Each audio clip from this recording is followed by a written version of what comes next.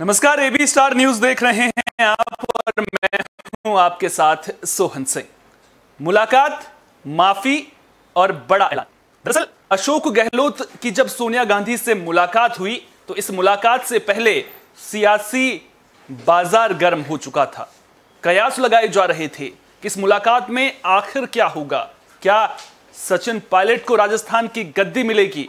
क्या अशोक गहलोत के खिलाफ आला कमान किसी तरह की कार्रवाई करेगा? और उम्मीद यह भी जताई जा रही थी कि क्योंकि गांधी परिवार के बेहद करीबी अशोक गहलोत हैं तो इस मुलाकात के बाद राजस्थान कांग्रेस में जितना भी घमासान मचा था, वो कहीं ना कहीं सिमटता हुआ नज़र आएगा और सहमति पर बात बनती हुई ज़रूर नज़र आएगी।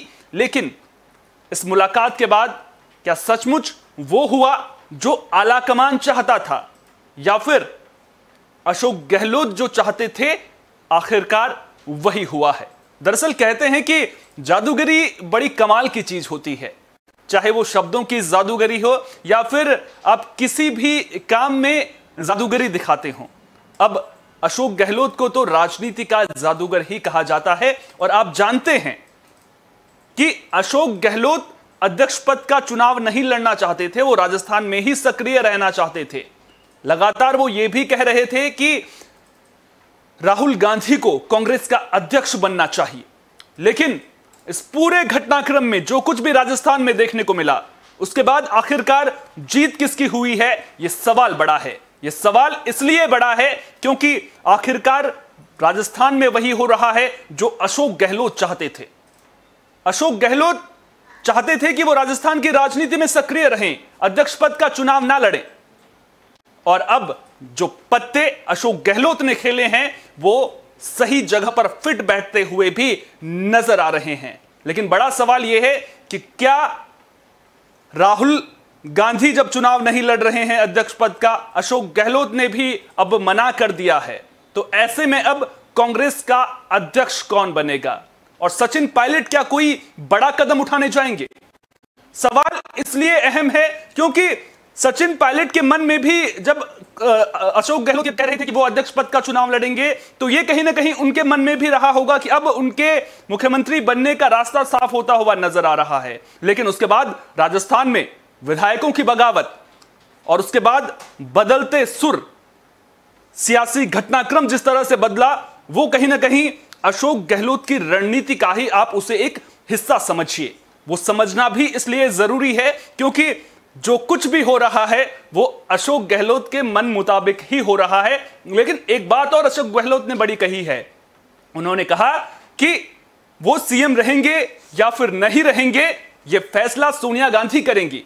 लेकिन सवाल यह है कि क्या जानबूझकर अशोक गहलोत ये कह रहे हैं? क्योंकि वो सारे हालात को जानते हैं, सारे समीकरणों को समझते हैं। वो जानते हैं, राजस्थान में चुनाव नज़दीक हैं। उसके बाद लोकसभा के चुनाव भी होने हैं। ऐसे में सोनिया गांधी यह रिस्क बिल्कुल नहीं ले सकती कि पार्टी के नेता, पार्टी के विधायक राजस्थान में कांग्रेस के साथ बगावत करें। क्योंकि ऐसे में कांग्रेस पार्टी को ना सिर्फ़ राजस्थान से सरकार गंवानी पड़ सकती है, बल्कि आने वाले लोकसभा चुनाव में भी बड़ा नुकसान उठाना पड़ सकता है, क्योंकि आपने हाल ही में देखा था कि किस तरह से बड़े कांग्रेस के नेता पार्टी का दामन छोड़ चुके हैं, यानी कि पार्टी में सामंजस्य बिठाना, पार्टी के संगठन को एकजुट करना कांग्रेस के लिए बड़ी चुनौती है। ऐसे में अशोक गहलोत का दाम, जिस बात के लिए वो जादूगर कहे जाते हैं, वो एकदम सटीक बैठता हुआ नज़र आ रहा है। तो सबसे पहले आपको अपडेट दे देते हैं। आप स्क्रीन पर देखिए, ग्राफिक्स के ज़रिए हम आपको दिखा रहे हैं। आप देख सकते हैं कि अशोक गहलोत की सोनिया गांधी से मुलाकात हुई थी। और इस मुलाकात के मायने बड़े हैं। इस मुलाकात पर राजस्थान का सियासी भविष्य भी टिका हुआ था और कांग्रेस अध्यक्ष का चुनाव नहीं लड़ूँगा। ये गहलोत ने बड़ी बात कही है। उन्होंने साफ़ कर दिया है कि वो कांग्रेस अध्यक्ष पद का चुनाव नहीं लड़ेंगे। राजस्थान में जो हुआ, उससे काफ़ी दुखी हूँ। यह भी अशोक गहलोत ने कहा है कि जिस तरह से ये प्रोजेक्ट करने की कोशिश की गई थी कि राजस्थान में जो कुछ भी हुआ वो कहीं ना कहीं गांधी परिवार के खिलाफ अशोक गहलोत की बगावत है। इस तरह से भी उसको प्रोजेक्ट करने की कोशिश की जाती रही तो उन्होंने साफ़ तौर पर कहा कि जो कुछ भी हुआ है, उससे मैं दुखी हूँ। राजस्थान के घटनाक्रम के लिए सोनिया गांधी से मैंने माफ़ी भी मांगी है। लेकिन क्या माफ़ी मांगने से सब कुछ ठीक हो जाएगा? यह सवाल बड़ा है। क्या कार्रवाई देखने को मिलेगी? हालाँकि अब इसके आसार कम होते हुए भी नज़र आ रहे हैं। सीएम रहूँगा या नहीं, सोनिया गांधी इसका फैसला करेंगी यह भी अशोक गहलोत ने कहा है। तो क्या अब सचमुच आला कमान इस दिशा में सोच रहा है? क्योंकि सब कुछ ठीक ठाक होता हुआ पार्टी में नज़र आ रहा है और इस बीच एक और बड़ी जानकारी, दिग्विजय सिंह ने भी कांग्रेस अध्यक्ष पद का चुनाव लड़ने की बात कह दी है। नामांकन फॉर्म उन्होंने बाकायदा मंगवा भी लिया है और अब वो भी अध्यक्ष पद के लिए ताल ठोकते हुए नज़र आएँगे। जब अशोक गहलोत नहीं है तो फिर कांग्रेस का अध्यक्ष कौन बनेगा? यह सवाल भी कहीं ना कहीं बड़ा है। शशि थरूर ताल ठोकते हुए नज़र आ रहे हैं, लेकिन क्या शशि थरूर कांग्रेस अध्यक्ष पद की रेस में अब दिग्विजय सिंह को टक्कर दे पाएँगे? क्योंकि दिग्विजय सिंह कहीं ना कहीं गांधी परिवार के बेहद करीबी भी माने जाते हैं और ऐसे में उनका जीतना अब लगभग लगभग तय माना जा रहा है। और जो बात लगातार ये कही जा रही थी कि अब कहीं ना कहीं अशोक गहलोत ने जो पॉलिटिकल ड्रामा राजस्थान में हुआ है, उसके बाद जो भी अशोक गहलोत अध्यक्ष पद की जो लड़ाई से बाहर होंगे और उसके बाद जब वो लड़ाई से बाहर होंगे तो ऐसे में कहीं ना कहीं कोई तीसरा बाजी मार ले जाएगा। और आपको याद होगा, दिग्विजय सिंह ने कहा था, पहले भी जब उनकी मीडिया कर्मियों के साथ में बातचीत हुई थी तो उन्होंने कहा था कि जरा सब्र कीजिए, तीस तारीख तो होने दीजिए आ, मैं चुनाव लड़ूँगा या नहीं यह फैसला हो जाएगा। और अब वो फैसला होता हुआ भी नज़र आ रहा है। दिग्विजय सिंह अध्यक्ष पद का चुनाव लड़ते हुए नज़र आ रहे हैं। लेकिन यहाँ पर बड़ा सवाल यह है कि यह वाइल्ड कार्ड एंट्री है या अशोक गहलोत का रिप्लेसमेंट है? क्योंकि कांग्रेस में अध्यक्ष पद कहीं ना कहीं उसे ही मिलता है जो गांधी परिवार का बेहद करीबी हो। अगर गांधी परिवार का कोई अध्यक्ष नहीं बन रहा है तो ऐसे में संभावनाएँ ज़्यादा दिग्विजय सिंह की बनती हुई नज़र आ रही हैं कि अब अगले अध्यक्ष वो होंगे। हालाँकि चर्चाओं में मुकुल वासनिक का नाम भी ज़रूर सामने आ रहा था, लेकिन अब संभावनाएँ दिग्विजय सिंह की ओर बढ़ती हुई नज़र आ रही हैं। क्योंकि अब जो लड़ाई अध्यक्ष पद की है, वो शशि थरूर वर्सेस दिग्विजय सिंह होती हुई नज़र आ रही है, क्योंकि अशोक गहलोत ने यह साफ़ कर दिया है कि वो अध्यक्ष पद का चुनाव नहीं लड़ेंगे। लेकिन सवाल यह भी है कि क्या सोनिया गांधी ने उनसे कहा कि अब आप अध्यक्ष पद का चुनाव नहीं चुनाव नहीं लड़िए। अब आप पूरे मामले को समझने की कोशिश कीजिए। राजस्थान में गड़बड़ झाला होता है तो कहीं ना कहीं जब आज सोनिया गांधी के साथ में अशोक गहलोत की मुलाकात हुई होगी तो उस मुलाकात में हुआ क्या होगा? सोनिया गांधी, अशोक गहलोत एक दूसरे के सामने रहे होंगे। अशोक गहलोत ने यह कहा होगा कि मैं अध्यक्ष पद का चुनाव ही नहीं लड़ना चाहता हूँ। अगर मैं अध्यक्ष पद का चुनाव लड़ूँगा तो फिर आप मेरी पसंद का सीएम राजस्थान में बनाइए। यह बात कहीं ना कहीं नागवार सोनिया गांधी को गुजरी होगी और जिस तरह से विधायकों की अनबन देखने को मिली है, उसके बाद कहीं ना कहीं सोनिया गांधी ने भी ये बीच का रास्ता निकालने की कोशिश की होगी और बीच का रास्ता यही निकलता हुआ नज़र आ रहा है कि राजस्थान के पॉलिटिकल ड्रामे को समेटा जाए। समेटा कैसे जाएगा? अगर अशोक गहलोत राजस्थान की राजनीति में ही सक्रिय रहते हैं। अब अगर अशोक गहलोत राजनीति में राजस्थान की ही सक्रिय रहते हैं तो ऐसे में अब क्या सचिन पायलट को भी एक मैसेज मिल रहा है कि सचिन पायलट का राजस्थान की राजनीति में तब तक आगे कुछ नहीं हो सकता है, वो मुख्यमंत्री पद पर नहीं बैठ सकते हैं, जब तक जब तक अशोक गहलोत राजस्थान की राजनीति में सक्रिय हैं। और अगर राजस्थान की राजनीति से अशोक गहलोत केंद्र की राजनीति में भी आते हैं तो ऐसे में सचिन पायलट के पास जब तक नंबर्स नहीं होंगे, तब तक कांग्रेस में सीएम उम्मीदवार वो नहीं बन सकते हैं। तो क्या अब बारी सचिन पायलट के दाम की भी आ गई है? क्योंकि अब अगर आप पूरे सियासी घटनाक्रम को लेकर के देखेंगे तो अभी तक सचिन पायलट ये कह रहे थे कि जब आला कमान कोई फैसला लेगा तो उसके बाद वो फैसला लेंगे। उनकी भी सोनिया गांधी के साथ में मुलाकात, वो भी बेहद अहम। अब ऐसे में समीकरणों को समझने की कोशिश कीजिए। अशोक गहलोत के पास नंबर्स हैं, विधायक हैं, यानी कि वो करता धरता अभी राजस्थान की राजनीति में बने हुए हैं। तो क्या सचिन पायलट को एक इशारा मिल रहा है? और क्या सचिन पायलट का जो सब्र है, वो और भी लंबा चलता रहेगा? इस पर भी हमारी नज़रें लगातार बनी रहेंगी। लेकिन जो कुछ भी राजस्थान की राजनीति में देखने को मिल रहा है, उसमें क्या आगे भी अभी तड़का लगना बाकी है? क्या सचिन पायलट कुछ बड़ा फैसला लेंगे, इस पर भी हमारी नज़रें लगातार बनी हुई हैं।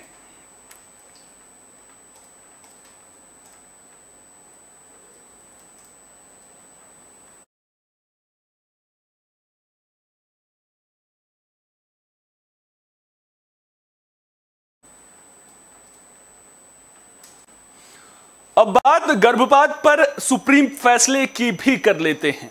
25 साल की एक युवती, एक लड़के से वो प्रेम करती थी। लड़के ने उसके साथ संबंध बनाए, जिसके बाद युवती गर्भवती हो गई। और उसके बाद लड़के ने शादी से इनकार कर दिया। लड़की ने सुरक्षित गर्भपात के लिए दिल्ली हाईकोर्ट का दरवाज़ा खटखटाया, लेकिन दिल्ली हाईकोर्ट ने याचिका पर सुनवाई से ही इनकार कर दिया। लेकिन लड़की ने हिम्मत नहीं हारी। वो सुप्रीम कोर्ट पहुँच गई। सुप्रीम कोर्ट से सुरक्षित गर्भपात की इजाज़त मांगी। उसके बाद आज इंटरनेशनल सेफ़ अबॉर्शन डे पर जो कुछ भी हुआ, वो भारत के लिए किसी इतिहास से कम नहीं है। दरअसल, सुप्रीम कोर्ट ने साफ़ कर दिया है कि अब विवाहित और अविवाहित दोनों गर्भपात करा सकते हैं। तो सुप्रीम कोर्ट के इस फैसले को बेहद अहम फैसला भी माना जा रहा है। एमपीटी एक्ट का हवाला भी सुप्रीम कोर्ट ने दिया है। सुप्रीम कोर्ट ने साफ़ तौर पर कह दिया है कि एमपीटी एक्ट के तहत विवाहित और अविवाहित दोनों गर्भपात करवा सकते हैं। इसको लेकर के ग्राफिक्स के ज़रिए सुप्रीम कोर्ट ने क्या कुछ कहा है, वो जानकारी आपको दे देते हैं। विवाहित और अविवाहित महिलाओं के बीच भेद एक स्टीरियोटाइप को कायम रखता है। सुप्रीम कोर्ट ने क्या कुछ कहा है वो हम आपको बता रहे हैं। स्टीरियोटाइप को कायम रखता है कि केवल विवाहित महिलाएँ ही यौन गतिविधियों में लिप्त होती हैं। बड़ी बात सुप्रीम कोर्ट ने कही है। एमटीपी एक्ट जिसका हवाला सुप्रीम कोर्ट की ओर से दिया गया है, वो क्या है वो भी आपको बता देते हैं। विवाहित महिलाओं में दुष्कर्म पीड़िता, दिव्यांग और नाबालिग के लिए गर्भपात की ऊपरी सीमा पहले 24 हफ़्ते थी वहीं अविवाहित महिलाओं के लिए ऊपरी सीमा पहले 20 हफ़्ते थी और इसी अंतर को सुप्रीम कोर्ट ने अब खत्म करने का आदेश दिया है। सुप्रीम कोर्ट ने इस अंतर को खत्म कर दिया है। गर्भपात को लेकर के भारत में कानून क्या है वो भी आप समझ लीजिए। 12 हफ़्ते तक एक डॉक्टर की सलाह से आप ऐसा कर सकते हैं। इसके अलावा 12 से 20 हफ़्ते तक एक डॉक्टर की सलाह यहाँ पर भी ज़रूरी होती है। एक डॉक्टर की सलाह से कर सकते हैं। 20 से 24 हफ़्ते की बात आती है तो कुछ कैटेगरी में दो डॉक्टर्स की सलाह लेनी पड़ती है। यानी कि दो डॉक्टर्स की सलाह बेहद ज़रूरी होती है। उसके अलावा 24 हफ़्ते से ज़्यादा पर भूण के ज़्यादा विकृत होने पर मेडिकल बोर्ड की सलाह लेनी पड़ती है। साथ ही साथ अगर गर्भावस्था के दौरान अबॉर्शन को लेकर कानून की बात करें तो अगर महिला की ज़िंदगी पर खतरा आता है तो ज़िंदगी बचाने के लिए एक डॉक्टर की सलाह ज़रूरी होती है। अगर डॉक्टर रिकमेंड करता है तो उसके बाद गर्भपात कराया जा सकता है। तो गर्भपात को लेकर सुप्रीम कोर्ट का यह बड़ा फैसला सामने आया है और इस फैसले के मायने बड़े हैं। अविवाहित महिलाओं को गर्भपात का अधिकार है, सुप्रीम कोर्ट ने साफ़ तौर पर यह कहा है। एमटीपी एक्ट के तहत सभी महिलाओं को कानूनी अधिकार है। सुप्रीम कोर्ट ने यह कहा है गर्भपात का अधिकार छीनना अनुच्छेद चौदह का उल्लंघन है। तो सुप्रीम कोर्ट का यह बड़ा फैसला सामने आया है। गर्भपात को लेकर इस फैसले को ऐतिहासिक माना जा रहा है। सभी महिलाओं को गर्भपात का अधिकार अब सुप्रीम कोर्ट ने दे दिया है। फिर चाहे वो विवाहित हो या फिर अविवाहित हो, कोर्ट ने कहा है कि medical termination of pregnancy act के तहत, यानी कि एमटीपी एक्ट के तहत 22 से 24 हफ़्ते तक गर्भपात का हक सभी को है।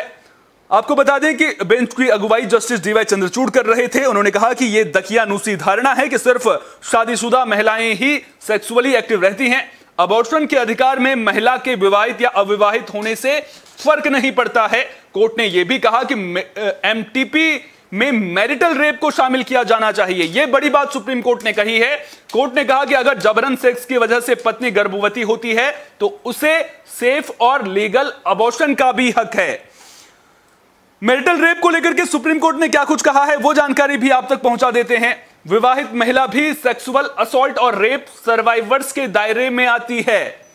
रेप की सामान्य परिभाषा यह है कि किसी महिला के साथ उसकी सहमति के बिना या इच्छा के खिलाफ संबंध बनाए जाएँ, भले ही ऐसा मामला वैवाहिक बंधन के दौरान हुआ हो।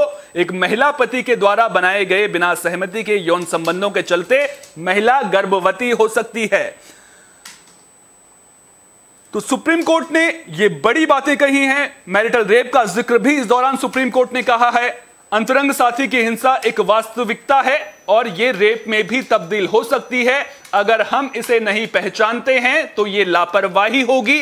अजनबी ही विशेष तौर पर या खास मौकों पर यौन और लिंग आधारित हिंसा के लिए जिम्मेदार होते हैं। ये गलत और अफसोसजनक धारणा है। परिवार के लिहाज से देखा जाए तो महिलाएँ सभी तरह की यौन हिंसा के अनुभवों से गुजरती हैं। ये लंबे वक्त से हो रहा है। रेप की परिभाषा में मेरिटल रेप को शामिल किए जाने की एकमात्र वजह एमटीपी एक्ट, यानी मेडिकल टर्मिनेशन ऑफ़ प्रेगनेंसी है। इसके कोई और मायने निकाले जाने पर एक महिला बच्चे को जन्म देने और ऐसे पार्टनर के साथ उसे पालने को मजबूर होगी, जिसने महिला को मानसिक और शारीरिक यातना दी है।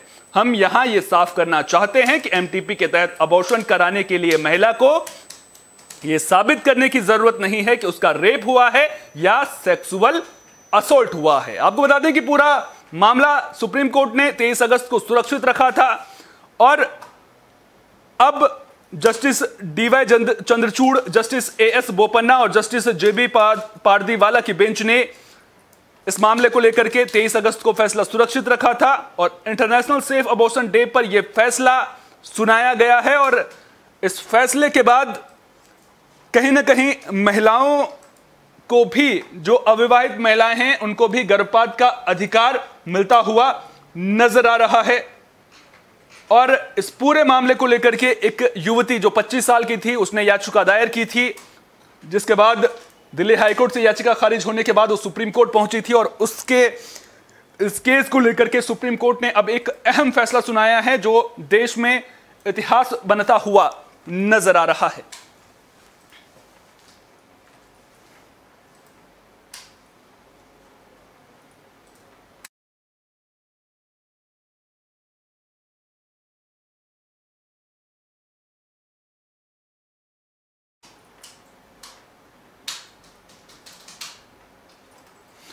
बुलेटिन के आखिर में बात बिहार की भी कर लेते हैं। दरअसल, बिहार में सरकार तो सुशासन बाबू की है, लेकिन इन दिनों माफिया, अपराधियों और बदमाशों के हौसले कुछ ज़्यादा ही बुलंद नज़र आ रहे हैं।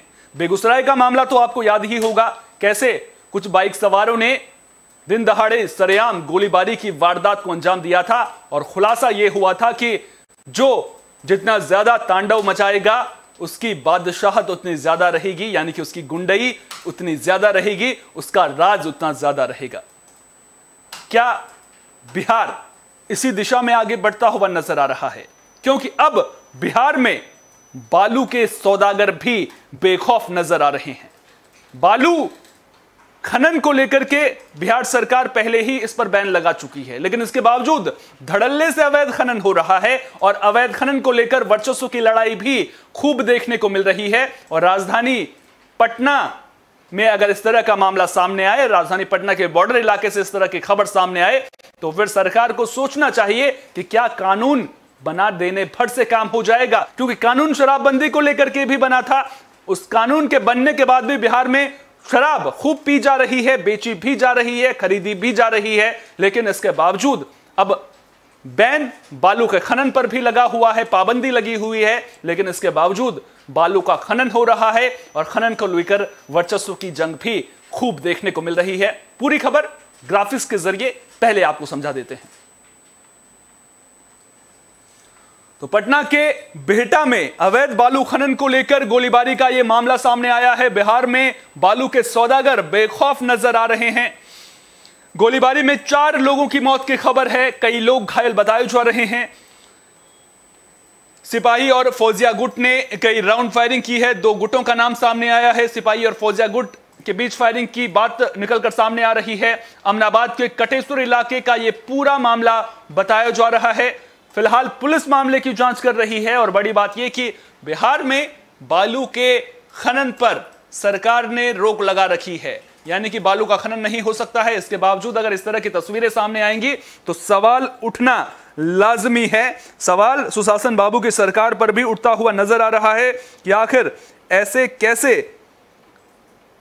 बिहार में बदलाव देखने को मिलेगा? ऐसे कैसे जो पोस्टर लगे हुए थे कि बिहार में करके दिखाया है, देश में करके दिखाएँगे। नीतीश कुमार, भले ही वो ये कह रहे हो कि प्रधानमंत्री वो बनना नहीं चाहते हैं, दावेदारी उनकी ओर से नहीं है, लेकिन उसके बावजूद नीतीश कुमार प्रधानमंत्री बनने चले हैं और बिहार से इस तरह की तस्वीरें अगर सामने आएँगी तो फिर सवाल कहीं ना कहीं बहुत सारे ज़रूर खड़े होंगे और इन सवालों का जवाब सरकार को ही देना होगा, क्योंकि सरकार से ये सीधे सवाल है कि अगर आपने बालू के खनन पर रोक लगा रखी है तो फिर इस तरह की तस्वीरें सामने क्यों आ रही हैं? तस्वीरों में बालू खनन को लेकर के समस्या लगातार बिहार में रही है। सोन नदी में बालू का खनन बड़े पैमाने पर किया जाता रहा है और इसको लेकर के कई बार झड़प की तस्वीरें भी सामने आई हैं। दो गुटों के बीच वर्चस्व की लड़ाई भी खूब देखने को मिली है, लेकिन इन सब के बीच में पटना और भोजपुर ज़िले के बॉर्डर पर भेटा में सोन नदी से अवैध तरीके से बालू निकालने को लेकर के जो कुछ भी हुआ, वो कई सवाल खड़े कर रहा है। सैकड़ों राउंड फायरिंग की बात भी निकलकर सामने आ रही है और जानकारी यहाँ तक भी मिल रही है कि पाँच लोगों की गोलीबारी में मौत हुई है, लेकिन प्रशासन ने चार लोगों की मौत की पुष्टि की है, जबकि नौ लोग घायल भी बताए जा रहे हैं।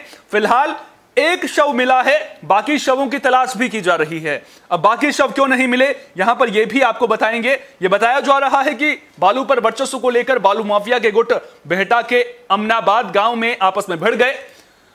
बात बढ़ती गई और दोनों गुटों के बीच में उसके बाद धीरे धीरे बात फायरिंग तक पहुँच गई और इसके बाद जब पूरी वारदात हो गई तो उसके बाद माफियाओं की आप हिम्मत देखिए। उन्होंने शवों को छुपाने की भी कोशिश की दोनों जिलों की पुलिस मौके पर जाँच कर रही है। 150 से ज़्यादा कारतूस के खोखे मिले हैं। तो आप लगा सकते हैं कि किस तरह से सरेआम फायरिंग हो रही है। अवैध बालू खनन हो रहा है और प्रशासन मौन धारण किए हुए बैठा है। अब अगर कार्रवाई नहीं होती है, इस मामले में कार्रवाई होना बेहद ज़रूरी है, क्योंकि इससे आप दो तरफा संदेश देंगे। एक अपराधियों को संदेश जाएगा कि बदमाशी बर्दाश्त नहीं की जाएगी और दूसरा बालू खनन को लेकर के सख्ती सरकार को कहीं ना कहीं दिखानी होगी, क्योंकि जिस तरह से नदियों का सीना चीरा जा रहा है, ऐसे में कहीं ना कहीं ज़िम्मेदारी प्रशासन की बड़ी बन जाती है। अवैध खनन पर अंकुश को लेकर के पुलिस की कार्यशैली भी लगातार सवालों में रही है। तो उम्मीद यही करेंगे कि सुशासन बाबू की सरकार मामले को गंभीरता से लेगी और सख्त संदेश देने की कोशिश नीतीश कुमार बालू माफिया को करेंगे। बालू माफिया के गुट बेहटा के अमनाबाद गाँव में आपस में ये भिड़ गए थे, जहाँ से ये जानकारी निकलकर सामने आ रही है। एसपी भोजपुर संजय कुमार सिंह ने कहा कि गोलीबारी की सूचना मिली है और भोजपुर ज़िले पुलिस की तीन टीम बॉर्डर पर कैंप कर रही हैं। भोजपुर ज़िले के एक व्यक्ति को गोली लगने की सूचना है। आगे की जाँच की जा रही है। अब सवाल यहाँ पर यह उठता है कि कार्रवाई आखिर कब तक होगी? सवाल इसलिए अहम है क्योंकि कार्रवाई अगर नहीं होगी तो फिर कहीं ना कहीं नीतीश कुमार देश का, देश में विपक्षी एकजुटता की बात भी कर रहे हैं। अगर बिहार में कार्रवाई देखने को नहीं मिलेगी तो फिर कहीं ना कहीं जो संदेश देने की कोशिश नीतीश कुमार कर रहे हैं, वो पूरी तरह से देश के लोगों तक नहीं पहुँच पाएगा। उम्मीद ये करेंगे कि इस मामले में सख्त से सख्त कार्रवाई देखने को मिलेगी।